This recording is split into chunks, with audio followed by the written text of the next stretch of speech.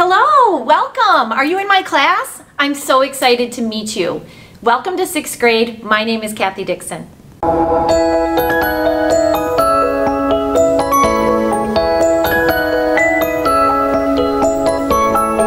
I'm really excited to be your math teacher this year and to get started I just want to tell you a little bit about me.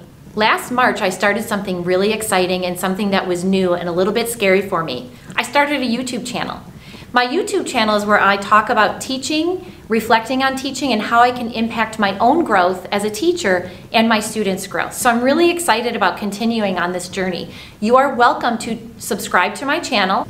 And sometimes I'll have students in my videos too, and we'll talk more about that when I meet you. When you come into class on the first day, there will be assigned seats so that you know where to sit. And then after that, we'll do some random seat generating, and sometimes you'll be able to design the seating chart or pick your own seats. But you'll want to come in with your supplies and sit down, and then go ahead and have a look at this board. You can see that there's two different math classes that I teach. So you'll look for your math class. You'll see the date up here every day. And then we'll always have the objective, that day's learning target, as well as any homework or practice to do at home.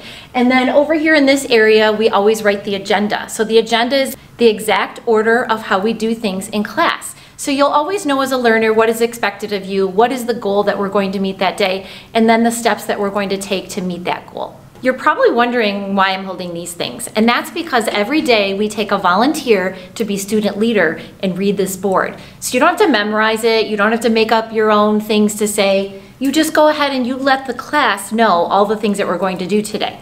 And sometimes our student leaders like to use this purple PowerPointer. Sometimes they like to use this dollar store microphone because it echoes and it's fun. Here's our classroom, and if you notice, all the tables are arranged in groups of four, and then there's one table that's arranged in a group of six. And this is because our math resource, which is called Open Up Resources 6-8 Math, there's a lot of talking about mathematics with this resource that we're using. Sometimes you'll be doing quiet think time, so you'll be thinking independently about math. Sometimes you'll be talking with a partner, and then other times with your table group, and then we'll come together as a whole class and we really build that knowledge together. You're going to love it. So look at this area right here. You notice that there are six red bins. That's because we have six table groups. These are our geometry toolkits and we're going to be starting with Unit 1 for math, and Unit 1 is about geometry. So in here will be some of the manipulatives and some of the tools that you'll use when you're thinking about mathematics. Some of you might be really excited about the first day of school for middle school, and some of you might be a little nervous, and both are okay. If you feel nervous, just know that I'm going to feel nervous too. I get very nervous about meeting over 120 students and trying to learn their names. You might be wondering, Things like, where's the restroom? I know I'm like that when I go to a new building, so I'm just gonna take you on a little quick tour so that you don't feel any of those nerves about that. Just so you know, right outside my classroom, this is not the restroom for students. This is the restroom for staff. That means it's for the teachers and paraprofessionals and other adults that work in the building. Okay, so we have these two restrooms here, and you notice that they say staff only. So those are for the adults. Oh, Hello, Mrs. Doom. Hi, Mrs. Dickson. How are you today? I'm doing great. Uh, did you have a great summer? I did. It was absolutely fabulous. I traveled a ton with my husband and with my children, and it was just absolutely wonderful. I'm so glad that you caught me here after I was coming out of the bathroom that you noticed that this indeed is a faculty bathroom. I'm Mrs. Dooms and I am just so fortunate to work with Mrs. Dickson and to teach with her and also to teach with uh, Mrs. Uh, Mrs. Ruotolo and even the seventh and eighth grade teachers as well. I am so looking forward to this dynamic year. I just can't wait to get started.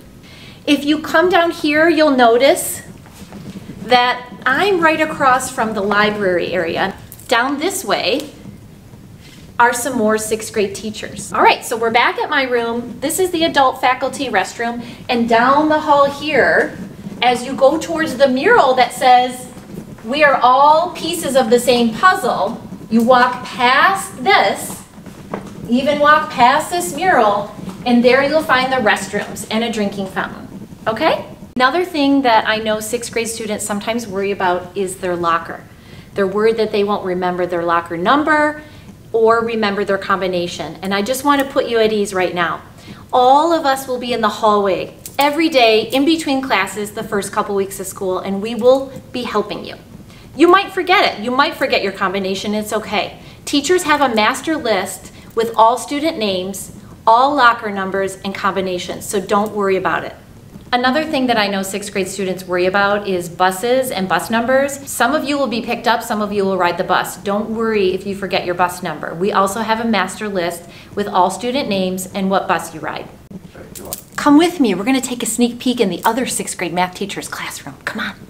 Hi, Miss Ruotolo, hi! Hi, Mrs. Dickson. How are you? I'm doing great. Did you have a good summer? Yeah, are you excited about the new school year? We are so excited. I cannot wait to meet all the new sixth graders and dive into our curriculum with math. I hope you guys are as excited as I am. Well, that's about all I can think of right now. I'm really excited to meet you in person, and I'm excited for school to start. Are you ready for more?